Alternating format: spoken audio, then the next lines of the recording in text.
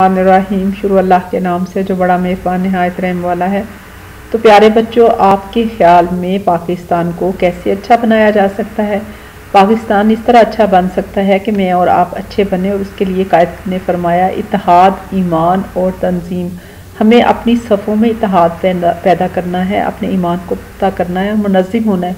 और बेहतरीन तरीका तंजीम डिसिप्लिन सीखने का आपका स्कूल है। और मेहनत से पढ़ें, मेहनत में असमत है, जिस तरह चूंटी मुसलसल लगी रहती है, इसी तरह अच्छा इखलाक अपनाएँ अच्छा किरदार बनाएँ, अच्छे तरीके से पढ़ें, मेहनत करने की आदत डालें और अपने ईमान को पुख्ता करने के लिए कुरान तर्जमे से पढ़ें।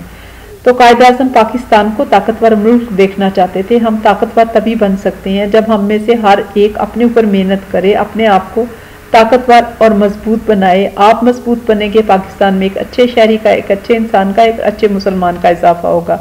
तो अब हम आते हैं अपनी प्रॉब्लम की तरफ़। आज हम करेंगे मल्टीप्लिकेशन टेबल टू का टेबल करेंगे। और हम इसमें आपने पहले पढ़ा था स्किप काउंटिंग तो टेबल टू जो है वो actually skip counting by two है। तो two is two one is equal to two और हम उसके बाद देखते हैं कि टू के बाद four 2 into 2 times 2 is equal to 4 or 2 times 3 is equal to 6 or 2 times 4 is equal to 8 4 times 2 times 4 is equal to 8 5 times 2 is equal to 10 and 2 times 6 is equal to 12 आप देखें कि कितना आसान है अगर आप अपनी काउंटिंग लिखते जाएँ और टू से स्किप करते जाएँ two times seven is equal to fourteen और two times eight is equal to sixteen और two times nine is equal to eighteen और two times ten is equal to twenty तो देखें, आपका टेबल बहुत आसान हो जाएगा। आप ट्वेंटी तक काउंट करें और हर फिर दो स्किप के बाद जो है, रेड कर दें तो आपका पूरा टेबल याद हो जाएगा। टू टू ये देखें, ऊपर टाइम्स है, नीचे दो है one times two is two and ten times two is twenty तो अब हम थोड़ी सी अपने, आपकी बुक में जो प्रॉब्लम्स दी हुई हैं, वो कर लेते हैं और ये हम स्किप काउंटिंग के थ्रू ही करेंगे। Two into two two times two is equal to अब हम देखते हैं कि जो हमने uh, देखा था वन और टू टू जो है सेकेंड टू फोर पे आता है। तो two times two is equal to शाबाश क्या आंसर आएगा? वीडियो यहाँ पे रोकें और उसके बाद खुद से इसको सॉल्व करें। फिर आगे हम देखते हैं इसका आंसर तो two times two is equal to हमारा टू जो है, वो कहाँ पे आ रहा है? फोर के ऊपर।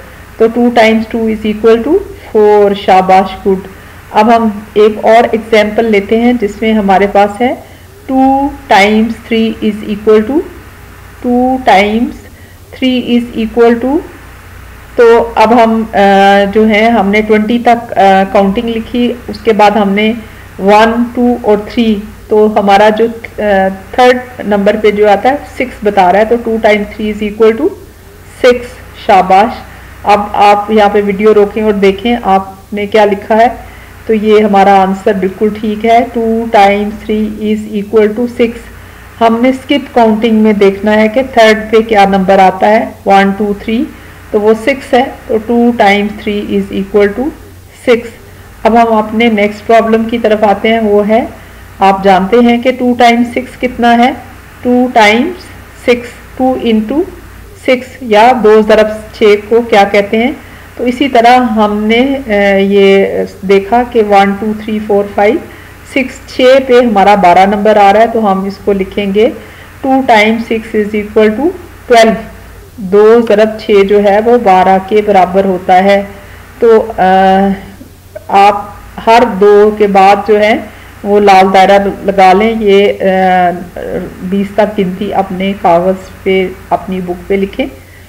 फिर हम देखते हैं कि टू टाइम्स नाइन तो उसका क्या आंसर आएगा? तो हम ट्वेंटी तक गिने और हर दो के बाद जो है वो लाल दायरा लगा लें। तो हम देखते हैं कि नाइन जो है वो कहाँ पे आएगा हमारा? शाबाश। नाइन जो है वो आएगा एटीन के ऊपर। तो हमारा आंसर आ गया।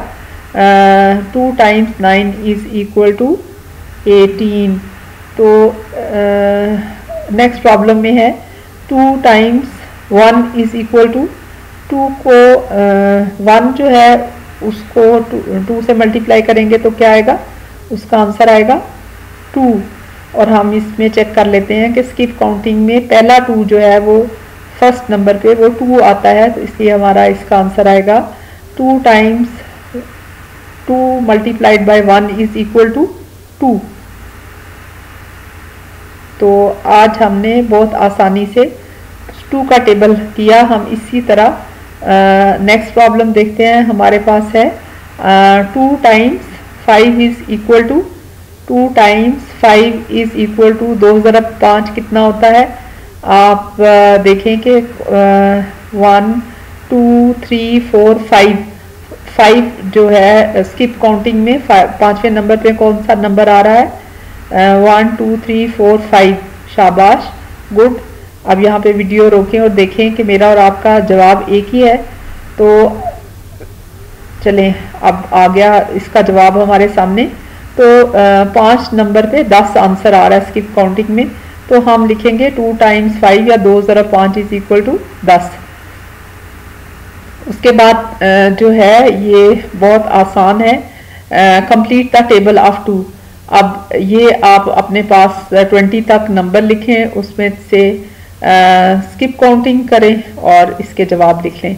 तो ये बहुत एक आसान तरीका है कि ऊपर टाइम्स लिखें, नीचे टू लिखें। तो two four six eight ten twelve fourteen sixteen eighteen और ट्वेंटी उम्मीद है आपको ये पसंद आई होगी। इसे लाइक करना और शेयर करना मत भूलिएगा।